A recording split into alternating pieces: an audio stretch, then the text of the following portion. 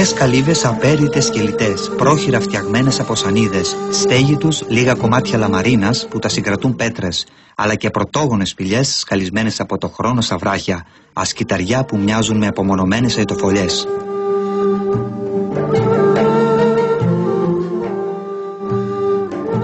Ανάμεσά τους απόκριμνοι βράχοι και χαράδρες. Η πρόσβαση δύσκολη γίνεται μόνο από αυτοσχέδια μονοπάτια, προχειροφτιαγμένες ξύλινες σκάλες, ακόμα και αλυσίδες που έχουν δεθεί στις πέτρες.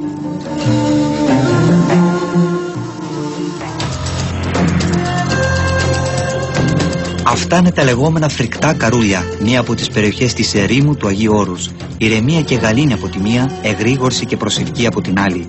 Τόπος αντιθέσεων, κατάνοιξης και πνευματικού εξαγνισμού για τους ασκητές του οικισμού, που έχει γίνει συνώνυμος με τη σκληραγωγία, αλλά και την ακραία μορφή μοναχισμού.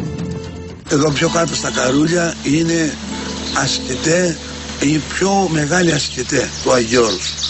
Ζουν σε κάτι κελιά, σε σπήλια, σαν αιτοφολές ζουν πάρα πολύ λιτά.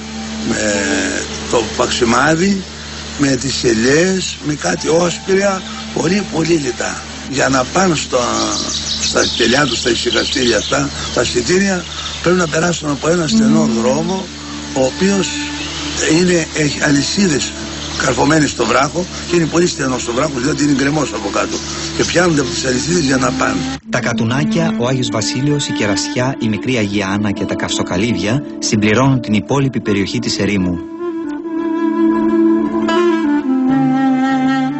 Πρώην πρωταθλητής πάλι ο πατέρας Βασίλειος ασκητεύει τα τελευταία 15 χρόνια μαζί με τον αδερφό του στα Κατουνάκια. Ήταν ο πολύτιμος ξεναγός μας στα άντυτα της Αγιορείτικης Ερήμου.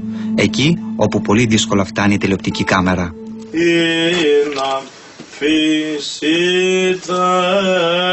σου Χριστός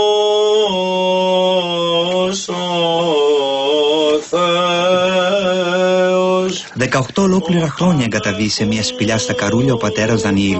Εγκατέλειψε τη δημοσιογραφία, την οικογένειά του και τη χώρα του, τη Σερβία και αφοσιώθηκε στην ασκητική ζωή.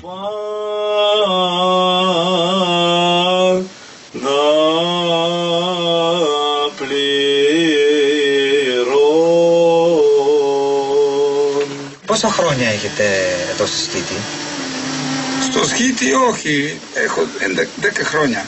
Στο Άγιον Όρος γενικότερα; 18. 18.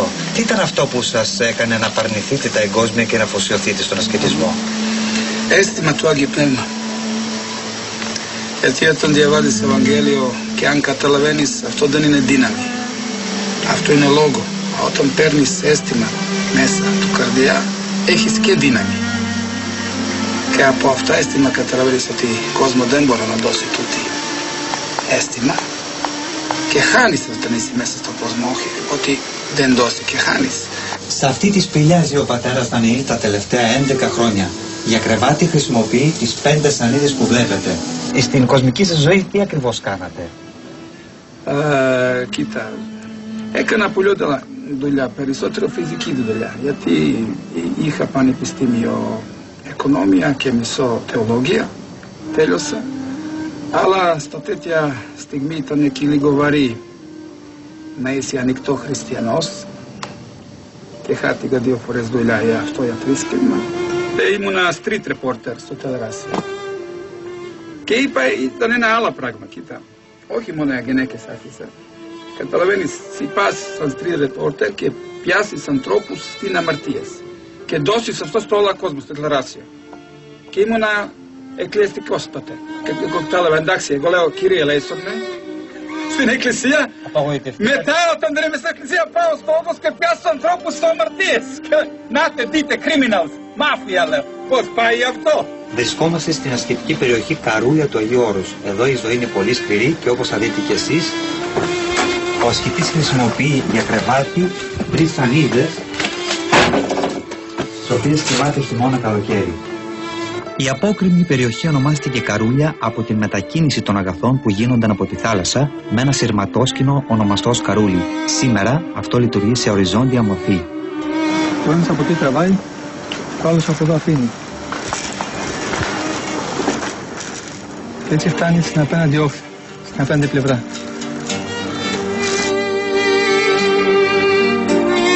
Πάτερ, εδώ η ζωή είναι πολύ σκληρή. Πώς είναι δυνατόν επιβιώσει εδώ ο άνθρωπος; Ε, όποιος το πάρει απόφαση το, κατα- ε, το, το καταλαβαίνει ότι θα βάλει τα πάντα, τα, όλα τα δυνατά του για να, για να απομείνει ε, εδώ, στην- στη σκληρότητα του τόπου.